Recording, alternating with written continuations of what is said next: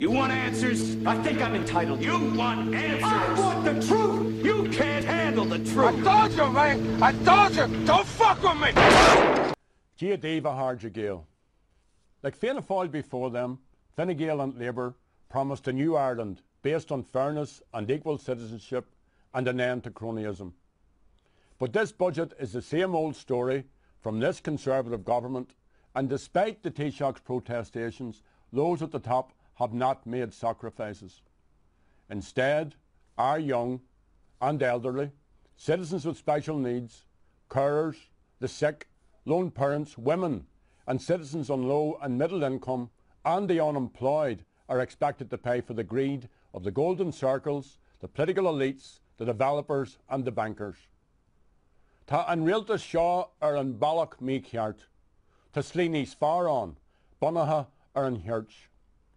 Sinn Féin firmly believes that Irish people have the intelligence, the will and the ability to build a real republic, to reorganise our affairs and to create a fair society based on equality.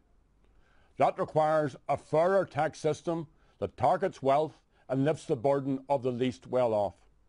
It requires real investment in health and education services. It demands a job stimulus package which will get people back to work and increase state revenue. That's the only way to reduce the social welfare bill.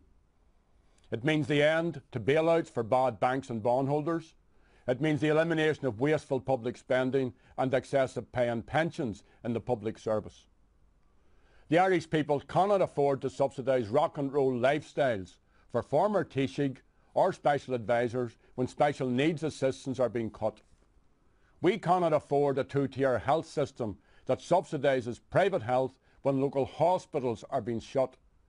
We cannot afford to devastate rural Ireland with cuts to local services and additional charges for septic tanks. And we cannot afford to hand over 3.2 billion euro of the people's money to Anglo-Irish Bank next March. In the face of pressure from France and Germany, who are defending their national interests, the Irish government must put Irish interests first. The 90th anniversary of the signing of the treaty, which partitioned Ireland, is a reminder that decisions can have far-reaching and negative consequences. Sinn Féin believes very firmly that economic recovery is possible based on a strategy of fair taxes, investment in jobs, debt restructuring, growing the All-Ireland economy, protecting public services and those on low and middle incomes. Tá sé suas agin féin cén taithí a bheith ag ar dír. Má has an ceanirí leis na daine is féidir taithí níos fearr a bhaint amach le héile. The Irish people deserve better. We deserve a better, fairer budget. There is an alternative. It is based on equality and fairness. Ihawa.